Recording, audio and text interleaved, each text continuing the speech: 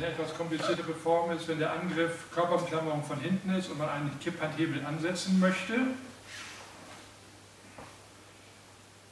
Man muss sich an dem oberen Handrücken orientieren, aber den unteren sprengen, sonst kommt man an diese Geschichte nicht ran. Sprengen tue ich mit dem Ellbogenstoß hinten in seine Ellbeuge hinein.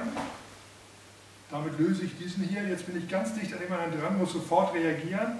Drehe mit dieser Hand, also mit der gleichseitigen, den Handrücken nach dahin und jetzt gehe ich mit der anderen drauf und gehe einfach nur an ihm vorbei.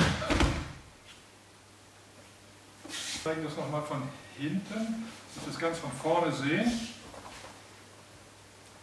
Diese Hand möchte ich nehmen, diesen Arm und den Griff muss ich sprengen.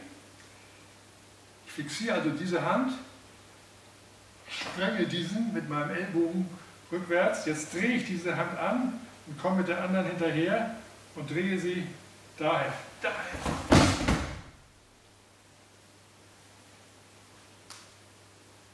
Also noch einmal.